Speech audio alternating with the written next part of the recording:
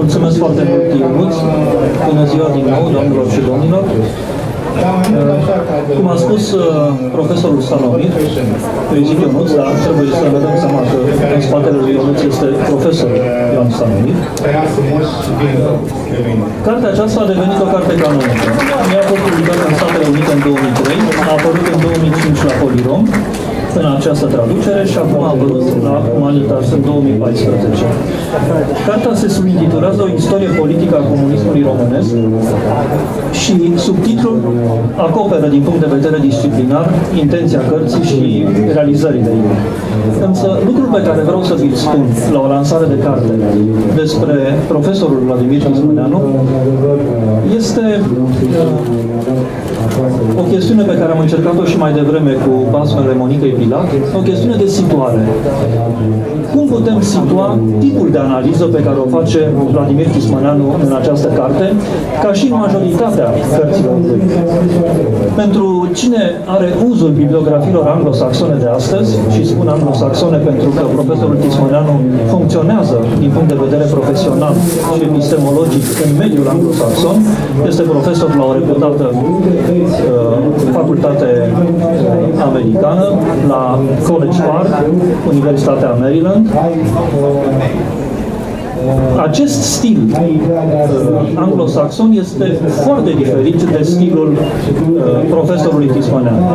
Și despre el vreau să vă vorbesc, despre specificitatea tipului de analiză pe care o practică Vladimir Tismanean. Cartea este o radiografie.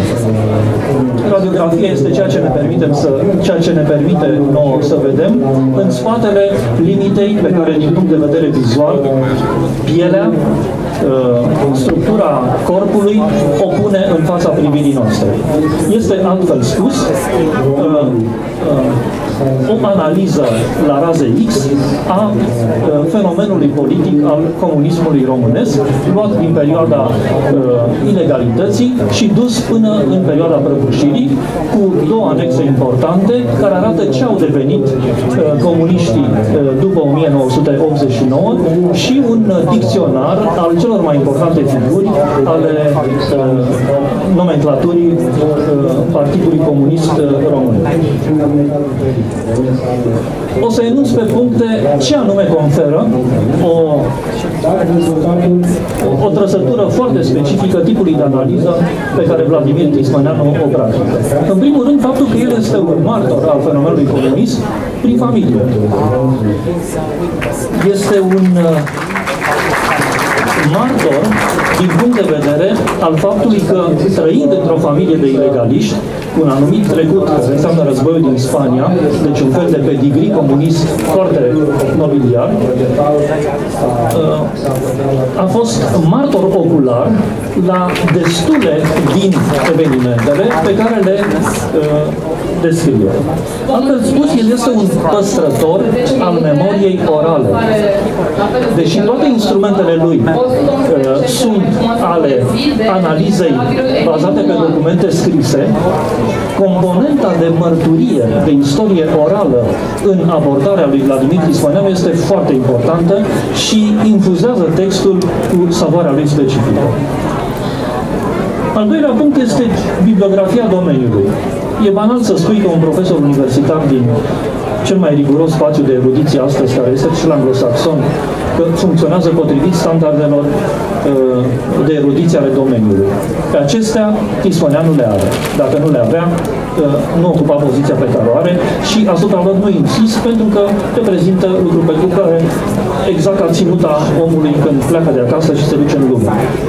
Nu se duce în chiloți, nu se duce în maieu, nu se duce în tricou, se duce bine îmbrăcat. Mă rog.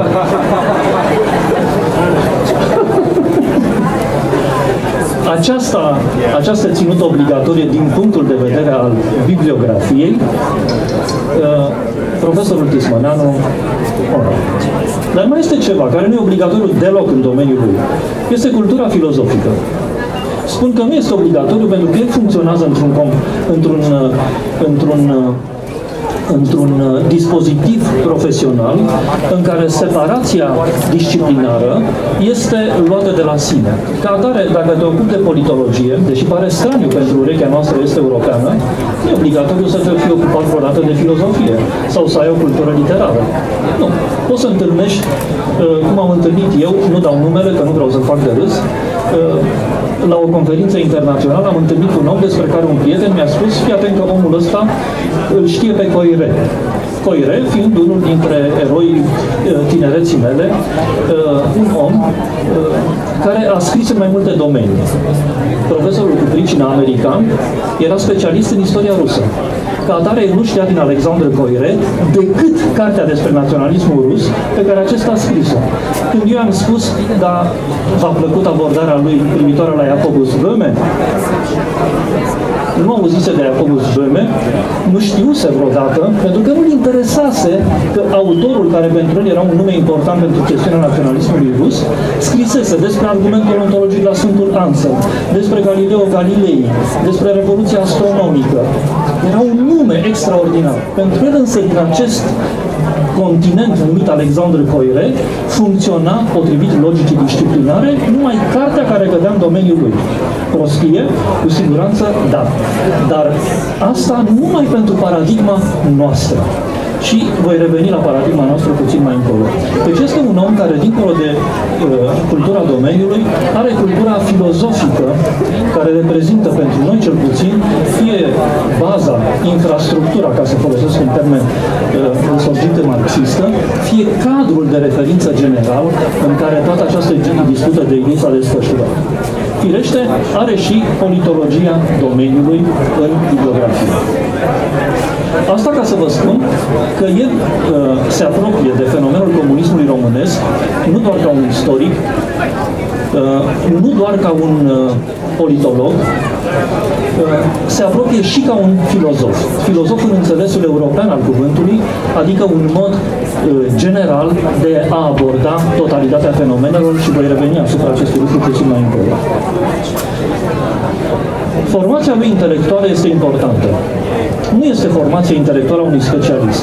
Altfel spus, ca să mă refer la uh, mediul intelectual uh, universitar american, nu este a unui tânăr care nu face deloc școală în cursul uh, uh primar, nu face deloc școală aproape în liceu, abia dacă face școală, școală în colegiu și ce se petrece cu el important, dacă are minte și dorință de a învăța, se întâmplă numai în etapa în care intră uh, la specializare. Exact opus este modelul de formare pentru un intelectual ca Vladimir Tismăneanu. Încă din clasele primare era deja un cunoscător de carte. În liceu arăta ca unul care deja făcuse mai multe specializări. În facultate deja putea să subîntindă multe domenii de specializare. Iar pentru el, în momentul în care intră pe specialitatea unui domeniu, asta înseamnă că merge de la documentul de arhivă până la uh, domenii aparent neconectate cu asta, care sunt filozofia, literatura, poezia, religia și așa mai departe. De ce este util acest lucru? Citiți uh, principalele curente ale marxismului a lui Leșe Kolakowski această carte nu ar fi putut fi scrisă din perspectiva specialității stricte. Nu ar fi putut fi scrisă. Gândiți-vă la contribuțiile lui Tucker, un universitar american, despre marxism. Ele sunt filozofice și teologice. Ele nu pot fi scrise din perspectiva unei singure specializări, pentru că Marx nu a fost omul unei singure specializări. El a fost un fenomen global, cum îmi vine să spun până după al doilea război mondial, în epoca specializării dezastroase, utile pentru performanțe punctuale, dar dezastroase pentru pierderea acestui tip de viziune, era și în Europa. Nu exista omul unei singure specialități, iar Vladimir Tismenanu nu este omul unei singure specialități.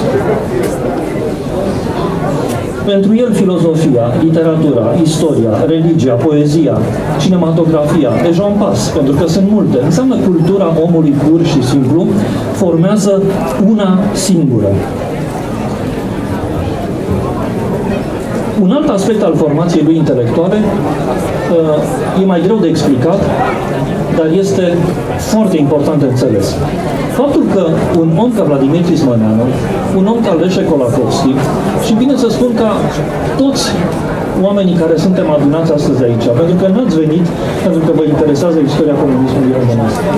Ați venit pentru că aveți un interes general, global, față de viața dumneavoastră, față de ceea ce încadrează viața dumneavoastră și de modul în care vă situați în istoria și în cultura acestui loc. Vreți să vă orientați. Asta este o operă de historische Orientierung, de orientare istorică vreți să vă orientați. Ori asta se face nu printr-o specializare, ci prin sumarea specializărilor. Iar el e un good ghid pentru asta. Dar oricare dintre dumneavoastră are o trăsătură, nu știu dacă sunteți conștienți de ea sau nu. Uh, nu sunteți oamenii unei singure culturi. Nu sunteți oamenii culturii române, punct. Sunteți oamenii culturii române și încă, a cel puțin, uneia. Oamenii din Europa nu s-au definit niciodată, încă de la romani, ca fiind oamenii culturii lor naționale. Romanii erau romani și greci în același timp. Europenii pe urmele lor sunt nemți și încă ceva pe deasupra, depinde de epoca istorică și de cultura lor de referință, iar pentru noi românii era, este limpede că noi suntem români și încă ceva pe deasupra. Vladimir Tismaneanu este format în această paradigmă. El este ceva plus încă ceva pe deasupra. Din punctul de vedere al formației culturale este cultura română plus încă cultura franceză, germană, rusă, italiană uh, și așa mai departe. Nu știu dacă are pe toate astea, dar câteva le are dintre ele. Asta înseamnă că știi ca pe cultura proprie cel puțin încă o cultură. Vladimir Tismaneanu ca evreu într-o frumoasă uh, descriere pe care Victor Ivanovici a făcut-o, în care spunea că a fi evreu înseamnă a fi evreu și încă ceva pe deasupra, pentru că niciodată nu ești evreu doar în comunitatea ta, asta e formula ghetoului, nu se mai aude de ea și cu asta basta. Dar de îndată ce ai ieșit din ghetou, ești condamnat să asumi o identitate psihologică, morală, religioasă, culturală, cel puțin binară. Ori asta îți dă o perspectivă extraordinară asupra lumii. Îmi vine să spun că cultura europeană, cât a fost mare, a fost o cultură mare, pentru că a avut cel puțin două identități pentru oricare dintre marii creatori. Iar cultura centrală europeană și est-europeană rusă se vede extraordinară ei valoare prin capacitatea oricăreia dintre marile personalități care au funcționat în ea de a asuma identități culturale plurale.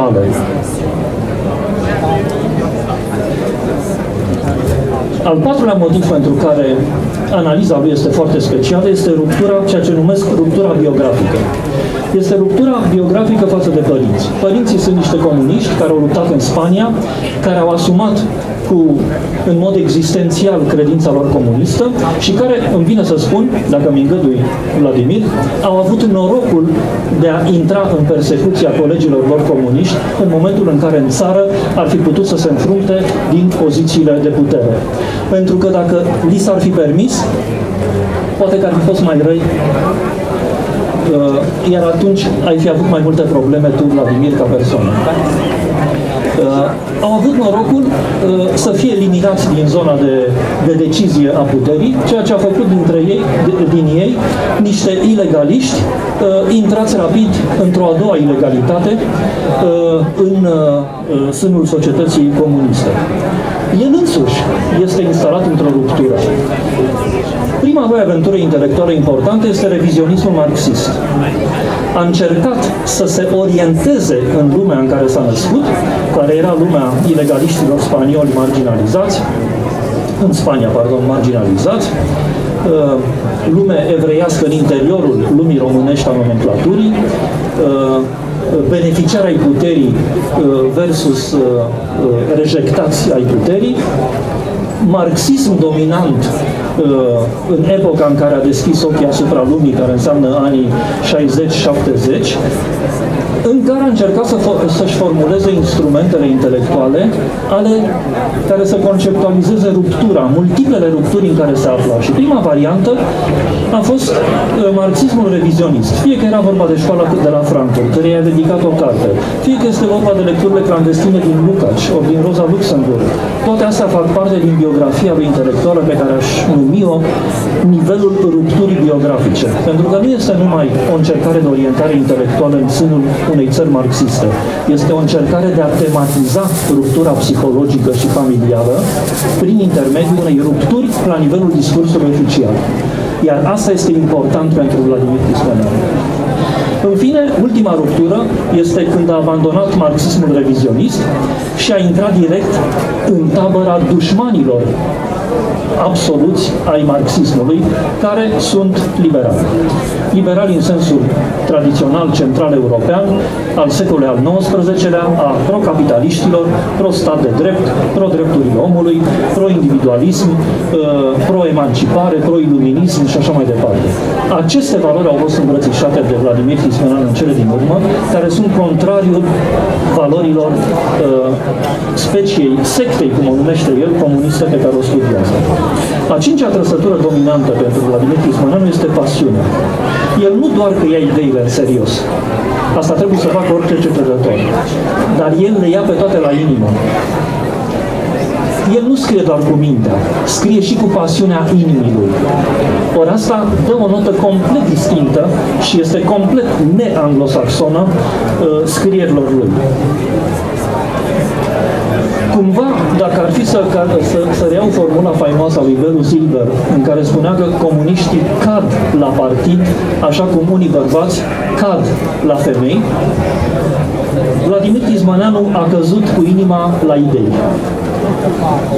este animat de pasiunea față de idei, îi suscită interesul, îi suscită fidelitatea, freamătă când e vorba de idei și toată proza lui este o proză profund uh, fremătătoare, dislocată de această pânză freatică continuă, nu doar a ideilor pe care cu competență ca istoric al ideilor le mânește, ci și care îl frământă, îl furnică, îl animă, are fluturi în stomac, stomac de la idei, așa cum noi, oamenii obișnuiți, avem fluturi în stomac de la îndrăgosteală.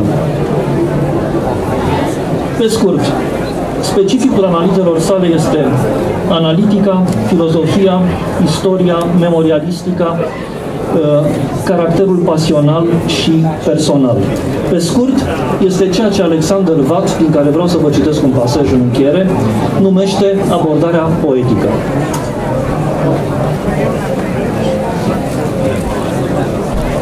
La șase jumate această carte va fi lansată de Vladimir și de mine. Peste câteva minute vă invităm la standul Nemira pentru lansarea volumului 111 deci cele mai frumoase poezii de Emil Humaru.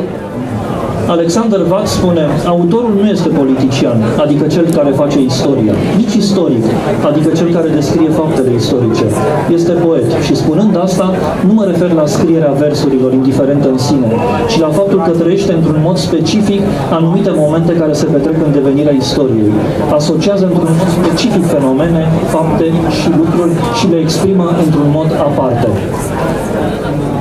Amintiți-vă, vă rog, în ultima carte pe care a scris-o Iorga și pe care n-a apucat să o termine pentru că a fost asasinat de legionari, materiale pentru o istoriologie umană, există o prefață în care spune, polemizând cu Aristotel, cumva, dar continuându-l, că a strâns materialurile, le-a prelucrat, le-a făcut.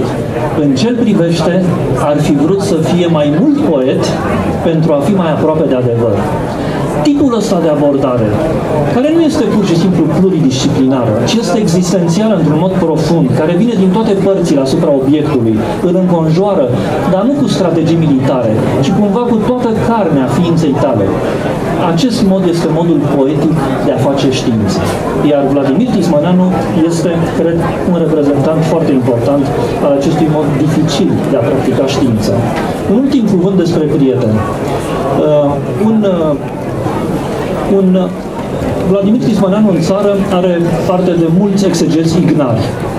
Fie că sunt antisemiți și nu-i pot ierta faptul că e de origine evreiască, fie că sunt uh, comuniști, criptocomuniști, neocomuniști, deja un pas și deci nu-i pot ierta apostazia, pentru că l-ar fi vrut să rămână comunist ca să-l simtă de-a lor, iar de vreme ce s-a rupt și anume a trecut în tabăra inamicilor la liberal, atunci uh, trebuie exterminat. Deci are foarte mulți uh, inamici uh, ignari de această specie. Unul dintre ei, care practică o critică exterminatorie, a spus că este cel mai detestabil name dropper pe care îl cunoaște. Adică om care, orice ar spune, aruncă în permanență cuvinte, care, deci, în viziunea acestui critic ignar, ar face paradă de erudiție. Cine crede asta despre Tismăneanu e prost. Nu e asta. Este cu totul altceva. Vladimir Tismăneanu este unul dintre foarte puțini oameni care își recunoaște datoria față de cei din jurul lor. Dacă l-au ajutat oamenii fie și cu o virgulă, te trezești că Vladimir Tismeranu îți mulțumește pentru acea virgulă. Este omul care are memoria de elefant a fidelității, iar acest lucru trebuie spus. Când face lista de nume, o face pentru a nu lăsa pe nimeni pe din afară dintre cei cărora le datorează ceva, oricât de puțin. Iar când ai mintea asta strălucită pe care o are Vladimir, când ai cultura asta incredibilă pe care o are el, aproape că te poți, nu, ai putea să spui că nu datorezi nimănui nimic decât ăstora, barosanilor, care scriu cărți și care apar în bibliografie. Dar el nu face niciodată asta mulțumește fiecăruia prin mențiunea acelui nume pentru cât îi datorează. Ăsta e Vladimir Tismanovic.